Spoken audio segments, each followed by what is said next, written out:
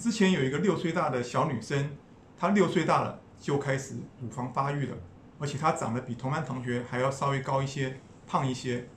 就因为说她这种所谓的乳房发育第二性征提早出现，所以造成说大家呃容易嘲笑她、戏弄她，而，造成说成为大家霸凌的对象。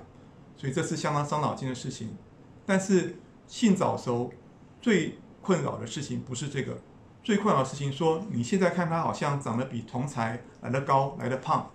但是到了后来呢，他反而会提早停止发育，提早长高，哦，那个所以说到了成人之之后呢，他成人身高反而比大家都来得矮，哦，这是影响最大的地方。所以说性早熟，我们要赶快啊，帮他能够找出他背后的原因，啊，给予适当的治疗，这是我们处理性早熟一大重点。那性早熟呢，可以大致上可以分为分为三三大类型。第一个就所谓的中枢性的性早熟，中枢性性早熟是脑部出了问题，有可能是脑子长东西，哦，或者是有做过放射性治疗，那造成所谓的中枢性性早熟。第二大类属于周边性性早熟，像所谓的女生她的卵巢出了问题，男生睾丸出了问题，或甚至男女生肾上腺出了问题，都可能造成所谓的。的周边型的性早熟，第三大种类就所谓的良性青春期变异，它本身呢没有任何的疾病，只是说有时候第二性征部分的哦有提早出现，但它骨龄不会超前，也不会造成说成人身高会比较矮，也不会，这种算最好的情况。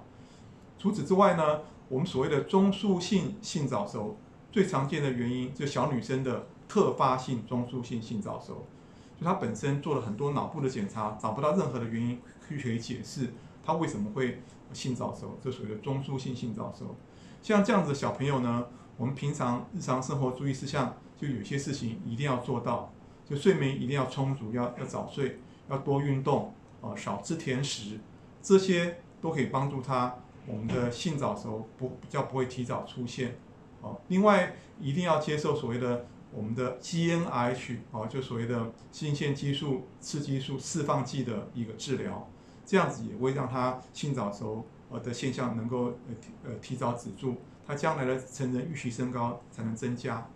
哦，除此之外呢，平常哦他也可以补充一些营养素，像他接受 GnRH 的治疗期间，我们要给他补充钙哦，才会预预防他的骨质流失。另外可以考虑帮他补充一些鱼油啊、益生菌之类的。它也会帮助他性早的现象会变得比较和缓起来。